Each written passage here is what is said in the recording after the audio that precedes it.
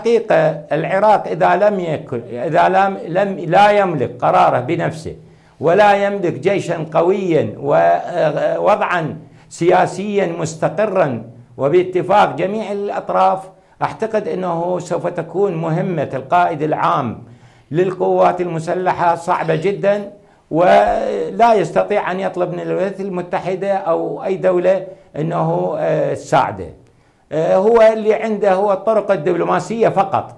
آه، يذهب إلى احتمال هسه ذهب إلى إيران سوف يذهب إلى إيران.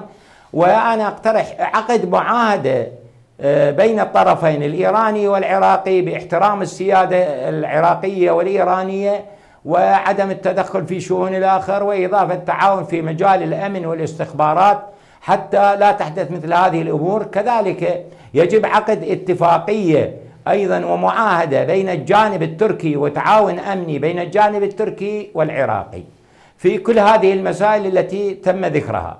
بغير ذلك حقيقة القائد العام يقف عاجزا سواء دخلت. ما أمام غير يشتكي تشتكي الحكومة العراقية في مجلس الأمن. ومجلس الأمن جربناه يعني اشتكينا من القوات التركية. صدر بيان اشتكينا ما سوى شيء. اشتكينا ما سوى شيء. ولا الولايات المتحدة مجلس الأمن أدان والمتحدة أدانت وأوروبا الشرقية والغربية أدانت الجامعة العربية أدانت الجماعة ما لهم علاقة. يدقون الليل والنهار على الأراضي العراقية. ما لهم. ما لهم علاقة. وبعدين التصريحات التي أدلى بها نعم. قاآني والمسؤولين الإيرانيين يقولون إحنا أطلعنا الحكومة العراقية ومن سنوات وقدمنا لهم أدلة عن أماكن تواجد هؤلاء وعقدنا مع الحكومة اتفاقيات لكن الحكومة لم تفعل شيئا وبالتالي اضطررنا إلى ذلك. هل ينطبق على الأتراك والإيرانيين قوله تعالى ومن اضطر غير باغ يمكن أن تقبل